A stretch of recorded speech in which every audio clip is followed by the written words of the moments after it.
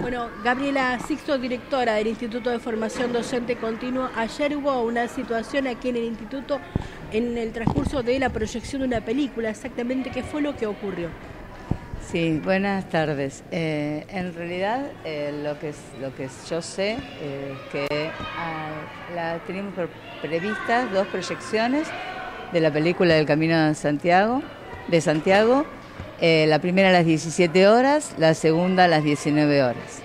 Eh, ya habíamos dado entrada, la verdad que el evento concurrió muchísima gente, en ambas funciones estuvimos alrededor de 250 personas. Y en la primera función, cuando comenzó la proyección, un grupo de personas que manifestaron su, adentro del auditorio, manifestaron la disconformidad sobre eh, la afirmación en particular, eh, se les dio lugar a, que pudieran decir su, opinión al respecto y se levantaron y se fueron. Hasta allí empezó, entonces empezó la proyección de la película. Mientras se proyectó la película, empezó la proyección, a los 20 minutos aproximadamente, un grupo de manifestantes reducidos, no, eran demasiados, eh, se acercaron a la puerta de lo que es la entrada de nuestro auditorio y empezaron a vaciar el basurero y ahí hicieron, como prendieron fuego en, las afueras y realizaron algunas pintadas y con arroja, algunas arrojadas de piedras que la consecuencia, como la podrán ver, hay dos vidrios rotos. Ana Ferrero también, directiva de aquí del Instituto de Formación Docente, cuéntenos si el instituto ha tomado alguna determinación, ha realizado alguna denuncia oficial. Eh, sí, en realidad estamos trabajando, todavía no lo hemos hecho, pero nos vamos a, estar acercando para hacer una exposición policial sobre los hechos que, vimos, que digamos los daños que hemos recibido. Y bueno, nada, lamentar un poco estas cosas que en el marco de poder expresarnos y poder tener este, este, tipo de, eventos culturales que en realidad lo que buscan es que problematizar y poder preguntarnos más sobre qué nos pasa y digamos, terminen en una situación como esta de violencia o de que no está bueno, ¿no? O sea, está, ¿A ustedes también les llama la atención que el hecho de la proyección de un documental eh, genere esta situación?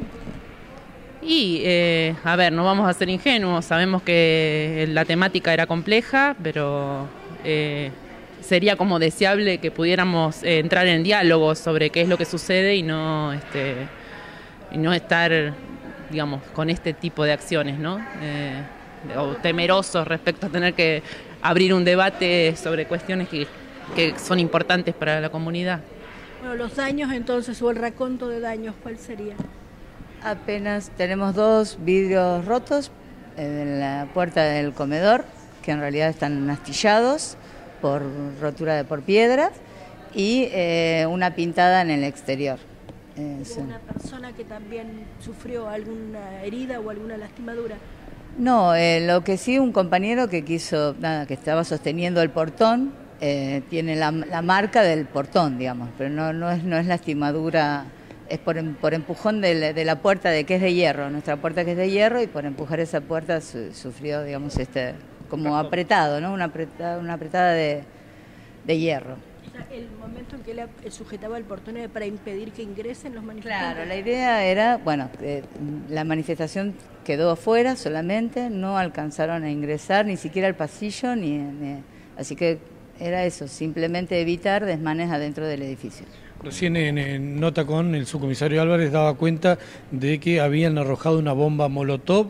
Eh, ¿Esto cómo fue realmente lo que usted decía?